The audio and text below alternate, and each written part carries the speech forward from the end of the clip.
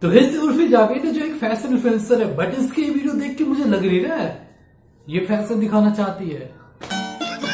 Any anyway, वे जो भी हो यार आज की इस वीडियो में हम बात करने वाले हैं उर्फी जावेद के बारे में।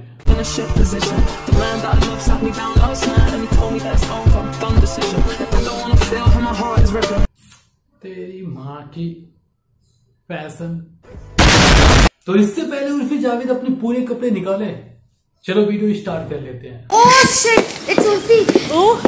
बिल्कुल सही बात है जब भी उर्फी जावेद को कोई देखता है ना उसके मन से ये निकलता है ओ शिट ये बवासीर फिर से आ गई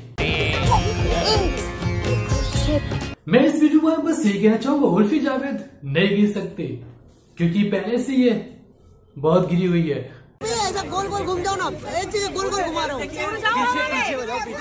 तो वैसे मैं फोटोग्राफर से बस ये कहना चाहूँगा भोसड़ी के सीधा सीधा बोले ना कि गांड देखनी है। ये क्या बकचोदी पहले को फिर गोल गोल घूम जाओ? किसे चूतिया बना रहे हो? बहन के लोड़ो। चलो तो अगर उर्फी जावेद आपकी डिज़ाइनर होती तो आपका आउटफिट क्या होता? तो वैसे मैं तुम लोग बताना चाहूँगा अगर उर्फी जावेद इनकी डिज़ाइनर होती ना तो कोई भी कपड़े नहीं होते।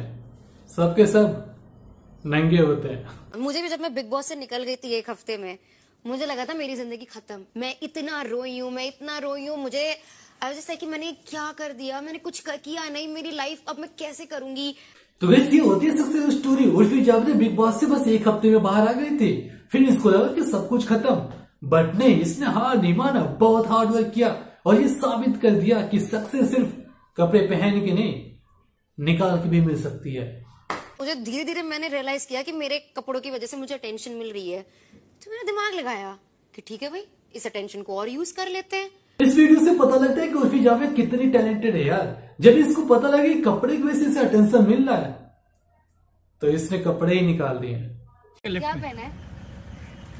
बताओ तो क्या पहना है? तो गैस मैं उर्फी जावेद से बस ये कहना चाहूँगा किसी को कोई इंटरेस्ट नहीं है ये देखने में कि तुमने क्या पहना है।